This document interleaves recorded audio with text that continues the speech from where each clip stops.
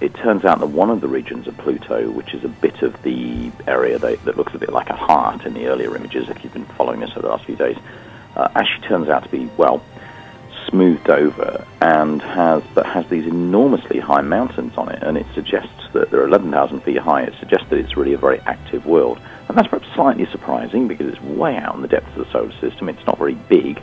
It's significantly smaller than our moon, which is very inactive. So it implies that there's some kind of internal process going on. That you know they think these are made of ice. That there's some heat source inside, perhaps a radioactive core, which is what heats up the interior of the Earth, and that's making somehow the ice turn to water or turn to gas. I'm not sure the process, but they're rising up, and that, that's remarkable. It's, it really is unusual to see something that's resurfaced like this, and you know, I think that really has surprised them. From what I can tell from uh, listening to a bit of the press conference and seeing the reactions of the team, it, it looks like they're really very, very surprised by that. There's also uh, images of uh, the moon Charon, which is um, a third of the size of uh, Pluto. It's huge, or even half as big. Uh, so it's more like a double planet, Pluto and Charon together.